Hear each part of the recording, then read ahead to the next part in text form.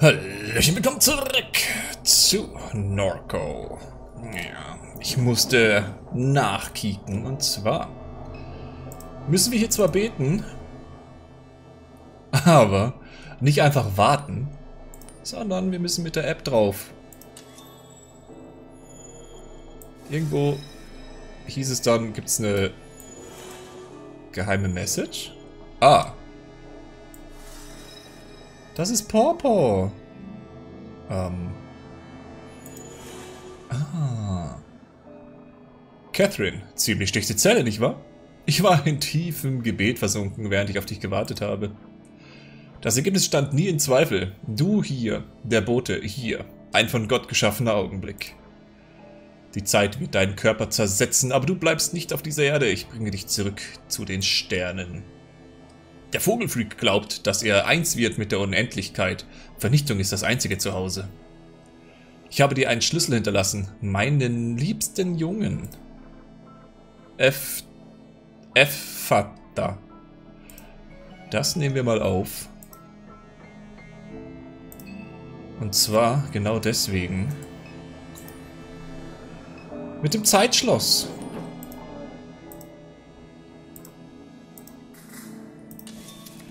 Genau dafür brauchen wir das.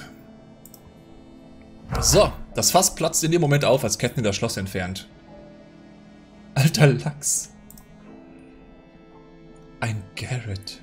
Mann, was für eine Scheiße! Wer bist du? Was ist das? Ich muss hier raus, raus, raus! Muss raus, muss raus! Entspann dich, wir werden dir nichts tun. Wo ist er? Er ist nicht hier. Du bist in Sicherheit. Wir brauchen einen Schlüssel. Hast du einen? Ich habe einen Schlüssel. Ich habe einen. Und jetzt beweg dich zum Teufel. Ich muss gehen. Mann, gehen, gehen. Alter Lachs, ey.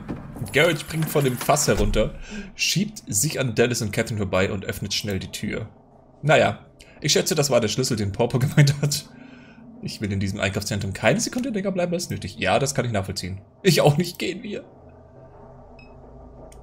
Oh, Mann. Äh, ja. Dann sollten wir da mal raus.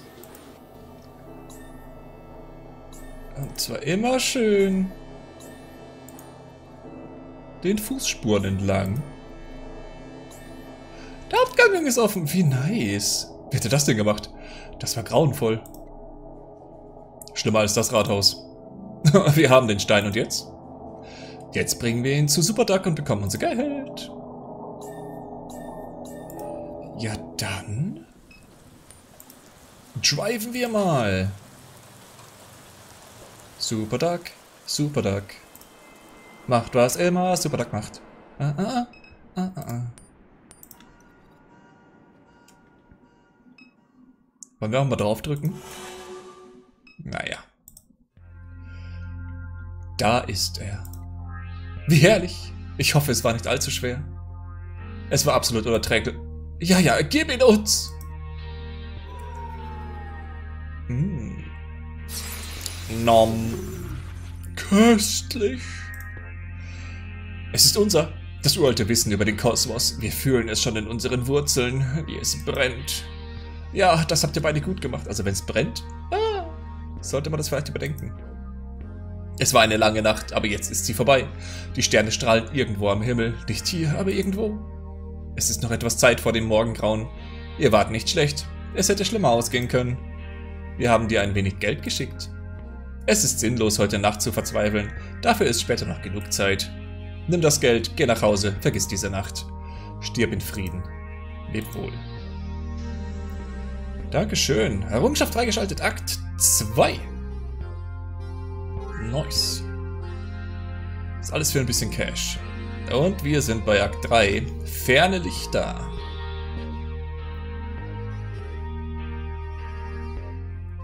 Hey, LeBlanc. Hey, Kleine. Ich lasse dich nur für ein paar Stunden allein und schon gehst du beinahe drauf. Du hast Glück gehabt, dass ich vorbeigekommen bin. Äh, was ist passiert? Wer bist du? Ich hatte gehofft, dass du mir das sagen kannst. Ich bin von der Bar nach Hause gegangen und an deinem Haus vorbeigekommen, als ich auf einmal einen Schrei hörte. Ich bin ins Haus gerannt und habe gesehen, wie dieser verfluchte Roboter dir ans Leder wollte. Ich habe mein ganzes Magazin in ihn geleert, um ihn auszuschalten. Danke. Catherine würde mich mein Leben lang hera... Oh. Moment. Ach, wir sind jetzt wieder Kay. Ah, okay. Catherine würde mich mein Leben lang heimsuchen, wenn dir etwas zustieße. Ah. Okay, ist Million noch am Leben? Ich glaube kaum, Kleine. Million ist bestimmt noch immer in deinem Haus, in tausend Teilen auf dem Boden verstreut. Ich will es dir nicht zu schwer machen. Ich weiß, dass der Roboter lange zu deiner Familie gehört hat. Du bist nicht so weich wie dein Bruder, darum sage ich es dir direkt. Ich habe ihr nie vertraut, nie. Als ich hörte, dass Catherine sie zu sich nach Hause geholt hat, dachte ich mir schon, dass es noch Ärger geben würde. Million ist von St. Clair. Deren Hauptgeschäft ist Unternehmenssicherheit und Spionage. Hm. Sie lassen so ein Ding nicht einfach so weglaufen. Wo immer sie auch landen, ist genau dort, wo Thomas St. Clair sie haben will. Sie lauschen und beobachten. Catherine ist für diese Leute von Interesse. Sie haben ihre einzige Schwäche ausgenutzt, ihre Schuldgefühle. Sie hat sich die Schuld an Blues Tod gegeben. Sie hat ihm das Leben eine Zeit lang zur Hölle gemacht. Und er arbeitete so viel, um seine Ruhe zu haben. So hat es mir mein Vater jedenfalls erzählt. Hm. Klingt nachvollziehbar. Sie haben sich auseinandergelebt, haben wir, glaube ich, am Anfang irgendwann mal gehört, ne? Sie hat sich durch die Gefühle anderer nie von ihren Zielen abbringen lassen, selbst wenn sie sich dafür schuldig fühlte. Aber so wie ich das sehe, hat Catherine versucht, den ganzen Kummer mit Blue irgendwie zu kompensieren. Vielleicht war der Roboter für sie wie eine, naja, Art Ersatz für ihn. Sie brachte dem Roboter die Liebe entgegen, die sie Blue immer vorenthalten hatte. Mindmap aktualisiert, danke. Und so ließ sie einen Spion in ihr Haus. Okay, wo bin ich? In meinem Büro in der Apple Street. Detektiv Padu. Ah, die immer zu war. Und wer bist du? Tu mir das nicht schon wieder an. Ich bin bekannt, hörst du? Jeder kennt mich. Das ist ziemlich viel, ich weiß.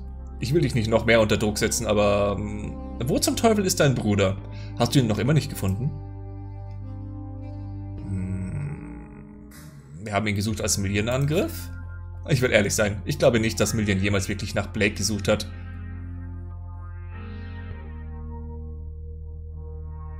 Blake? So hieß doch auch die göttliche Kugel in unserer in, im vorherigen Akt mit Catherine. Okay. Ich glaube, sie hat etwas anderes gesucht, aber ich weiß nicht was. Wenigstens macht sie jetzt keinen Ärger mehr. Hoffe ich jedenfalls. Aber wir sollten lieber auf Nummer sicher gehen. Am besten gehen wir zum Haus zurück, sehen nach dem Bot und suchen nach weiteren Hinweisen zu deinem Bruder. Da war dieser Anrufbeantworter auf dem Schreibtisch, bei dem mir fast die Ohren abgefallen sind. Den könnten wir überprüfen. Oh, und bevor ich es vergesse, du hast dein Telefon verloren. LeBlanc schiebt dein Telefon über den Tisch. Aha. Es lag im Haus auf dem Boden. Die Toilette ist da drüben. Wasch dir das Gesicht und dann geht's los. Alter, die Toilette ist direkt... in... Was? Okay, okay, okay. Oh, sheesh. Ich will erstmal in die Mindmap gucken. Million war eine Spionin, LeBlanc glaubt, dass Million als Spionin für Thomas Sinclair benutzt, äh, genutzt worden ist, wie auch immer. Sie sollte deine Mutter nicht aus den Augen lassen. Million. Mhm. Gut. Dann hätten wir das auch. Ach, mit SK kommst du auch nicht zurück. Musst alles hier klicken. Gucken wir uns das Klo an. Die Toilette ist da drüben, wenn du dich frisch machen möchtest. Wie will man sich denn hier frisch machen? Hallo? Das ist ein Scheißhaus und kein Waschbecken. Nebenan beschweren sie sich, dass sie mich sehen, wenn ich auf Toilette bin. Hab ihnen gesagt, dass sie wegschauen sollen. Ich zwinge sie ja nicht zum Hinsehen. Aber ich glaube, sie mögen es auch irgendwie. So bleiben wir in Verbindung. Ich könnte noch viel mehr über dieses Loch hier erzählen. Würde sicherlich einen ganzen Tag füllen. Alter, ist er komisch drauf, ne? Da zähle ich die ganzen Toten, die ich gefunden habe. Man kann viele Leichen finden, wenn man danach sucht. Ist fast wie eine Schatzsuche. Okay. Schminke? Nicht anfassen. Oder willst du, dass ich mich schminke? Äh, ja, das wäre schon interessant. Gut. Das ist mein Büro, hier geschieht Magie. Ziemlich cool, was? Okay. Das ist mir alles zu viel. Dachte mir schon, dass sie nach Catherines Tod großes Chaos hinterlassen würde. Behalte einfach nur einen klaren Kopf, ja? Wir werden Blake finden. Dann kannst du aus der Stadt verschwinden, sie für immer vergessen. Verdammt, wenn noch Platz im Pickup ist, komme ich vielleicht sogar mit. Ich habe Million vertraut. Wie gesagt, ich habe ihr nie vertraut. Keine Minute. Sie dient wohl nur ein paar Augen für Thomas Sinclair. Gut, Dankeschön. Dann auf zur... St Alles okay bei dir? Garrett? Ein Mann in einer Kampfrüstung. Ah, hat er seine Templerrüstung gekriegt, ja? Hm, mit einem roten Kreuz drauf beugt sich über eine Schildkröte auf dem Gehweg. An der Rüstung ist ein Namensschild befestigt, auf dem Garrett steht. Hi. Ach, er. Ich wollte nur... Wer zum Teufel bist du? Mann! Ich weiß, dass es komisch aussieht. Ich wurde von meinen ähm, Kollegen getrennt. Und dann habe ich diese Schildkröte gesehen und sie mir näher angeschaut. Was willst du von meinem Büro? Du siehst aus wie ein Perversling. Perversling? Ich sehe aus wie ein Ritter. Wie kommst du auf Perversling? Hey, ich kann noch gehen. Was willst du hier? Ich äh, will arbeiten. Und was? Was Spirituelles. Yoga zum Beispiel. Oder nein, eher was mit Weltraum. Raketen. Wir kennen uns mit Selbstverbesserung aus. Gewichtheben. Sowas in der Art. Äh. Klingt total cool. Voll nach Kult. Das ist es auch. Wie ein Kult, nur cooler. Wenn du mitmachst, hast du sofort Freunde und einen Vater, der gern mit dir Zeit verbringt. Naja, manchmal jedenfalls. Wenn wir auf dem Mars sind, wollte er mit uns Zeit verbringen. Wo hast du das Kostüm her? Das ist kein Kostüm. Warum reden immer alle von Kostümen? Ich bin ein Soldat Christi. Äh, okay. Gegen wen kämpfst du? Hauptsächlich gegen Abschaum. Abschaum?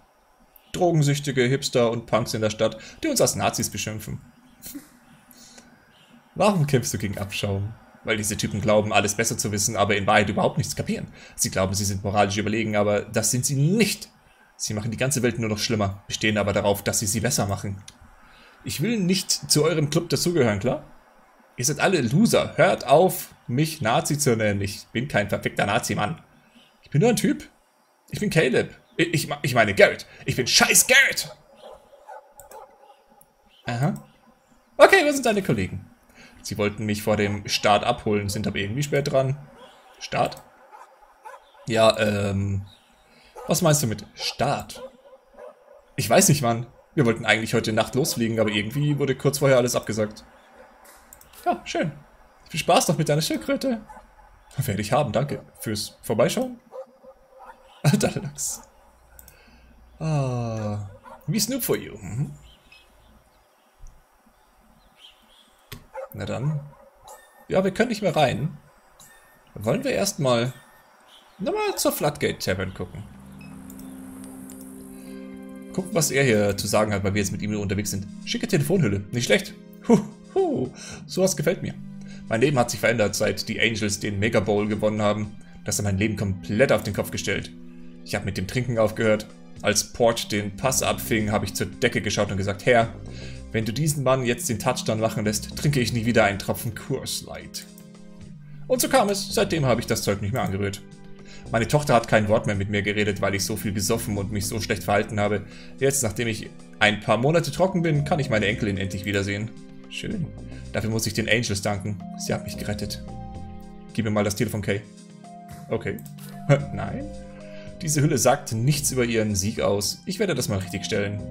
Gus nimmt einen Marker aus einer Tasse mit Stiften und kritzelt etwas Unleserliches quer über das Telefon. Schon besser, bitte sehr.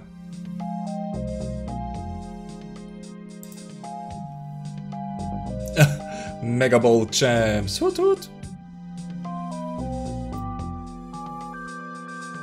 Head Drive Club. Ach. Warte mal. 82 Quack. 5 Dollar? Alter, ist das ähm, wenig geworden. What the hell? Okay, Steinformular der Einkaufszentrum mit dem abgeschlossen. Interessant, dass wir das Handy von Mamutschka haben. Sind dann auch noch, ja, auch noch die Sprachmemos drauf.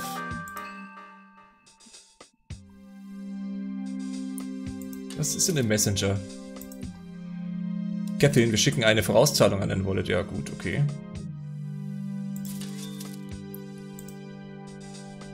Mhm. Das bringt uns auch alles nichts.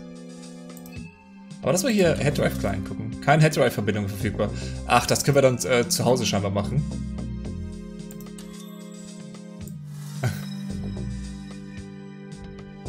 Ja, das äh, bringt uns auch alles nichts. Gut. Gucken wir mal ganz kurz hier den Garrett an. Die Garretts streifen durch Norco. Irgendwann streifen durch Norco. Sie tragen Plastikrüstungen und Namensschilder, auf denen Garrett steht. Die Garretts. Ja, danke. Dann lass uns mal hier ein bisschen durch Norco gucken. Ach, das ist hier der Roboter. Hm, interessant, dass das jetzt in den Nachrichten ist. Wir berichten live von der Schildölraffinerie in Good Hope, wo ein Frachtroboter in Flammen aufgegangen ist. Es wird davon ausgegangen, dass der Roboter nach der Kollision mit einer Gasfackel Feuer gefangen hat. Der Ölpirat, der unter dem Namen Lucky benannt ist, äh, bekannt ist, wird in Verbindung mit dem Vorfall und einigen anderen Brandstiftungen gesucht. Er gilt als bewaffnet und gefährlich. Dieser Typ hat schon alles mögliche in die Luft gejagt. Ja, und wir haben geholfen. Soll aber unser, ähm, wie sagt man denn, das soll unser Problem nicht sein? Von Aderop, der wird den Wald im Fluss unter dem Damm repariert, ja, schön und gut. Ist hier ein Garrett drin? Nein. Moment, was sagt denn der, wenn ich hier mit dem Handy rumfuchtel? Sagt er irgendwas? Nee, passt schon. Ja, dann machen wir das mal, was wir machen sollen. Wir gehen noch nicht nach Hause. Lucky, bist du da? Nein.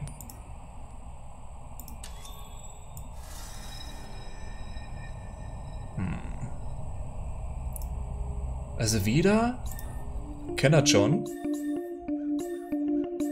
noch Superduck-Gedöns ist irgendwie verfügbar für uns. Wobei. Okay. Ich bin einfach hier durch die Eingangstür gekommen, hat etwas gedauert, bis mir klar war, wo der ganze Lärm herkommt. Dann bin ich auf den Dachboden geklettert. Da war eine Leiter, die vom Dachboden nach unten in eine Kammer führte. Wie einem verdammten Geisterhaus. Bin runtergeklettert und habe gesehen, wie der Roboter dich gewürgt hat. Also habe ich dich zur Seite getreten. War vielleicht ein wenig zu heftig. Das Gesicht des Roboters war offen. Million hatte... Scheiße, ich weiß nicht mal, was das genau war. Eine Art leuchtenden Tumor in ihrem Kopf. Sie versuchte, ihr Gesicht irgendwie zu schließen. Aber da hatte ich schon meine Waffe gezogen. Ich schoss einige Male, bevor sie ihr Gesicht schließen konnte. Sie gab ein Heulen von sich und fiel hinter, hinten über. War nicht leicht, dich die Leiter hochzukriegen, aber irgendwie habe ich es geschafft. Lass uns nachsehen, ob der Roboter noch da ist. Vielleicht sollten wir uns in der Kammer auch nochmal umsehen. Kann ich? Und das ist Shield, Dimes, zu Hause. Okay. Was machen die Garretts hier? Zwei Teenager mit billig aussehenden Kostümen blockieren die Tür. Sie tragen jeweils ein Namensschild, auf dem Garrett steht. Ist das das gleiche? Ja. Das müssen die Kollegen sein, die der kleine Nerd vor meinem Büro erwähnt hat. Blau blickt die Teens an. Fröhliches Halloween! Ihr seht aus wie zwei Dosen Sodawasser. Runter von meinem Rasen, Bitch! Dann gehört ihr also zu dem kleinen Kerl von meinem Büro? Wir gehören zu niemanden. Wir hören auf niemanden. Wir sind abtrünnige Garretts. Na schön, wie auch immer. Wo zum Teufel ist Duck? Wo zum Teufel ist Duck? Das frage ich dich. Deus Vult, du Arschloch. Ihr seid echt schräg. Kann ich mit... Kann ich, kann ich hier irgendwas anfangen mit der App? Scheinbar nicht. Ja, das wird mir jetzt auch nichts bringen. Nö, gut, dass wir... Ah, ich wollte schon sagen, ich kann nicht zurück. Doch, doch, geht schon. Das Mausoleum? War das auch schon mal verfügbar? Mausoleumseingang, Kirche. Waren wir hier drin schon mal? Na der. Das Grab deiner Mutter ist beschädigt. Am Rand sind einige Risse zu sehen. So eine Schweinerei. Irgendjemand hat versucht, da reinzukommen. Wir brauchen eine Brechstange, um es aufzustemmen. Gut zu wissen. Ich weiß ja, wo eine liegt. Du näherst dich der Kirche und versuchst die Tür zu öffnen, doch sie ist verschlossen. Gut. Dankeschön. Hätten wir das auch. Mal gucken, ob sie immer noch äh, wütend auf uns ist wegen der Katze. Moment, ist der zu? Nee. Hi. Die Sache mit Crouton habe ich noch nicht überwunden, falls du dich wunderst. Okay, sorry. Dann eben nicht.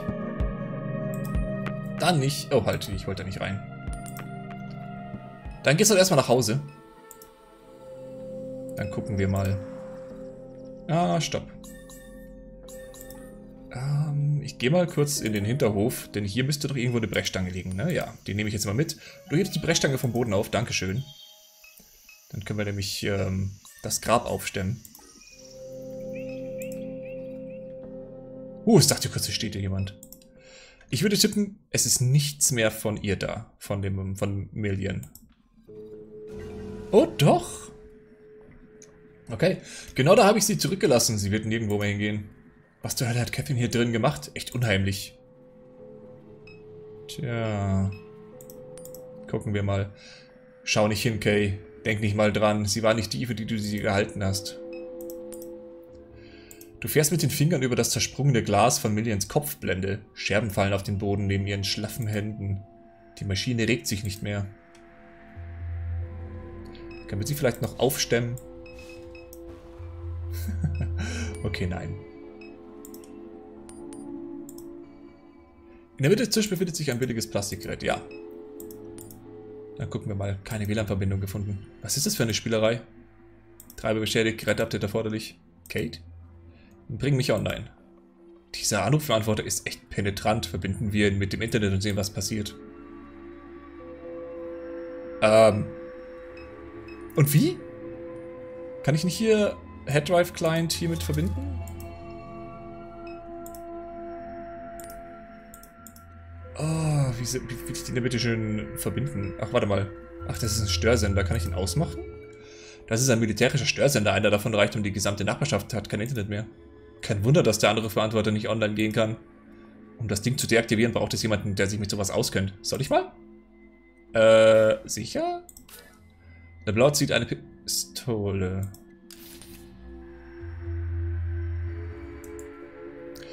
Ähm, das möchte ich jetzt ehrlich gesagt nicht. Ich kann auch nicht auf Escape, na gut.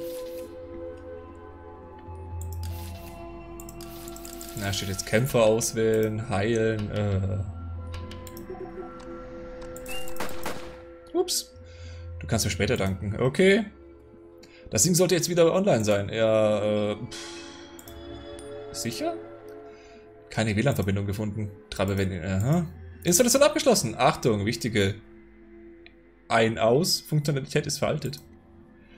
Um mit dieser Instanz zu interagieren, installiere bitte deinen bevorzugten Head-Drive-Client auf deinem Mobilgerät. Weitere Informationen über Hosting-Optionen findest du auf der Webseite der Greater New Orleans Neural Versioning Clinic. HeadDrive Client? Hast du einen installiert, Kay? Jupp. Das haben wir hier. Captain Madère. Lokale Artefakte werden komprimiert. Abgeschlossen. Fernverbindung wird aufgebaut. Kay? Nummerierte Gegenstände. Kay. Ich spreche mit meiner Tochter. Catherine? Ja. Ihr verarscht mich alle, weil ich betrunken bin. Gesichtsnummerierungsmodul Konflikt erkannt. Kannst du... Hat Kay angegriffen?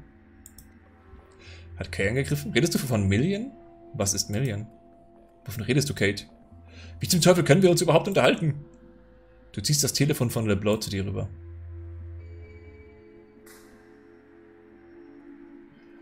Was ist mit Million passiert? Nummerierungsfehler, es tut mir leid, ich kenne keine Million, ich weiß nicht, was mit Million passiert ist. Ach, weil wir bestimmte Sachen gespeichert und nicht gespeichert haben. Okay. Bin Catherine Madère, 52 Jahre, Branchenkennung, November, bla, 10.0. Ich laufe auf einem externen 32 Terabyte Headhouse Laufwerk, ohne Cloud Support. Ähm, woran erinnerst du dich?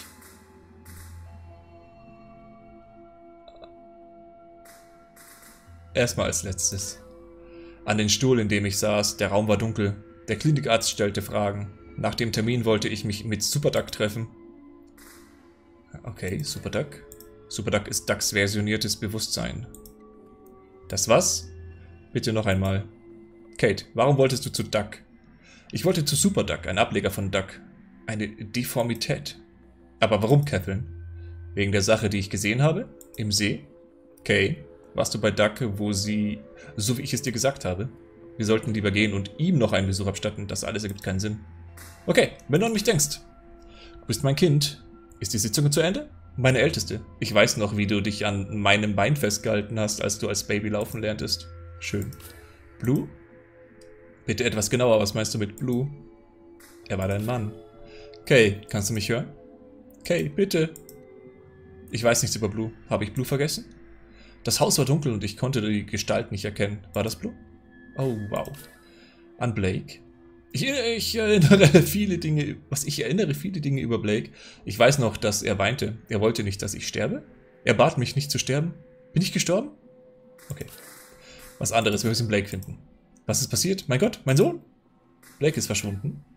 Blake ist verschwunden, der ist ja verloren, aber sein Gesicht ist nur noch ein Schatten. Kate, weißt du, wo er sein könnte? Blake ist verschwunden. Ist das Telefon kaputt? Okay, das reicht. Dieser Anrufbeantworter hat Duck erwähnt. Lass uns bei Dimes, Dimes vorbeischauen und mit ihm reden. Vielleicht weiß er, was los ist. Oh, das war aber jetzt nicht so prickelnd, ne? Eine Anti-Malware-Werbung in Dauerschleife. Schön. Alles, was recht ist. Oh, okay. Eine Karte von Lake. Ja, hängt an der Wand. Mhm. Dann lass uns doch mal gehen. Erstmal hier die Mindmap abchecken. Million war mit einem Schuss in den Kopf getötet worden. Nachdem du das Headrush deiner Mutter entdeckt hattest, ging Million auf dich los. Der Blau war gerade in der Nähe, hörte Geräusche und kam dir zur Hilfe. Ja. Gut, dankeschön. Dann gucken wir mal. Du willst mir nur sagen, dass wir nach Dimes müssen, oder? Wie geht's dir denn? Sollen wir Duck einen Besuch abstatten? Ja, das sollten wir. Das ist das einzige Sinnvolle, was ich mit dem, vom Handy ablesen konnte. Ja, dann werde ich jetzt aber zuerst nochmal zum Mausoleum fahren. Und wir stemmen mal das Grab auf. Du machst dich an der beschädigten Abdeckung der Grabnische zu schaffen. Sie lässt sich mühelos aus der Fuge stemmen. Sieh sich einer das an. In dem verdammten Ding ist kein Sarg drin. Blur sieht sich die Öffnung der Grabnische genauer an. Wer das auch immer war, hat sich keine große Mühe gegeben, es zu vertuschen. Okay, Catherines Ring. Das ist dieser Ring, den deine Mutter immer um den Hals trug. Den nehmen wir. Und der Brief, ein Brief mit schöner Schrift. Da steht, geliebte Kay, ihre Überreste sind in Sicherheit. Du wirst bald wieder mit deiner Familie vereint sein. War das Paw Das ist doch hundertprozentig Pawpaw gewesen, oder? Können wir das wieder zumachen? Nein? Deine Mutter stellte nach. Okay. Ähm.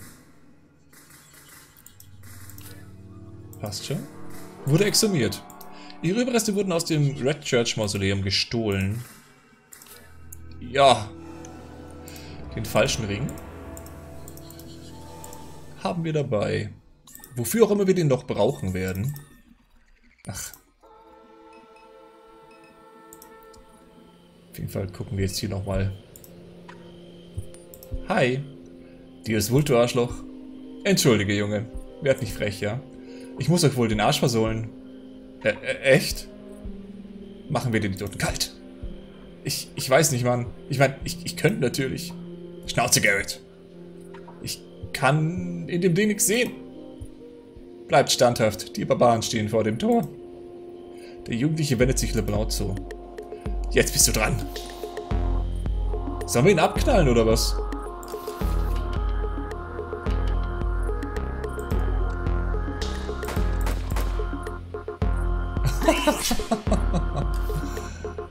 oh Mann.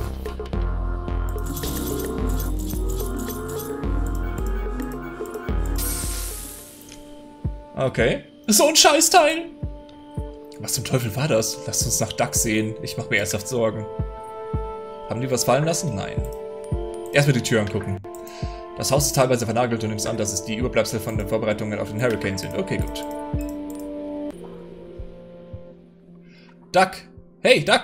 Clay, bist du da, Bro? Der Alte hat sein Haus seit Jahren nicht verlassen. Was zum Teufel haben diese Idioten mit ihm gemacht?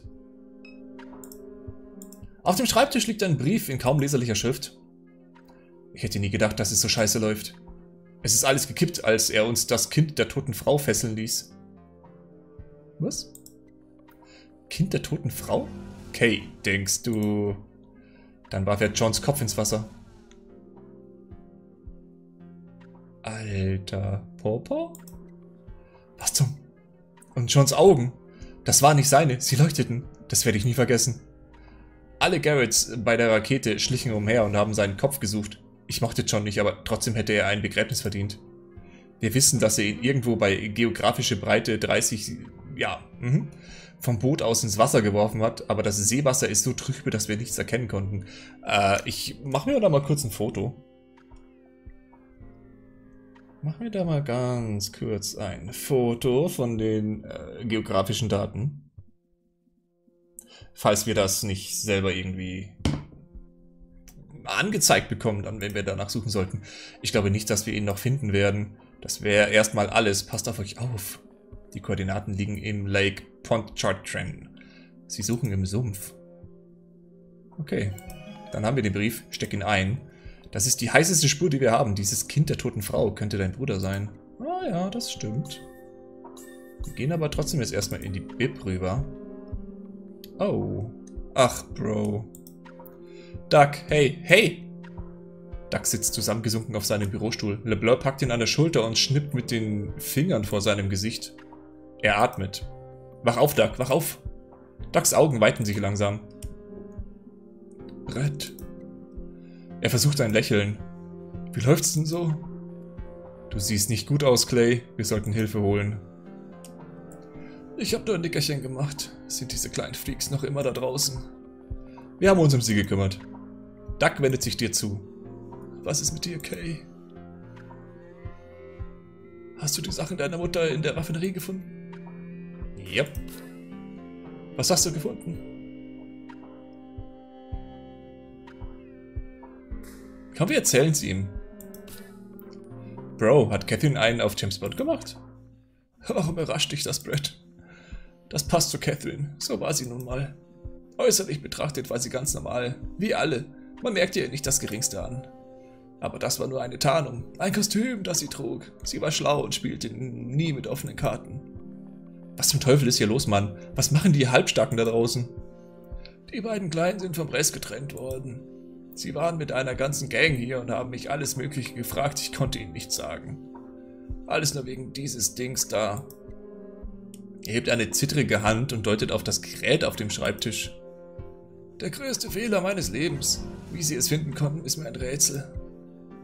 Ich dachte, ich hätte es schon vor Jahren verloren, hat aber irgendwie zu mir zurückgefunden. Tja. Was zum Henker ist das? Fragen wir in nächste Folge, Leute. Was gut, bis dann und ciao.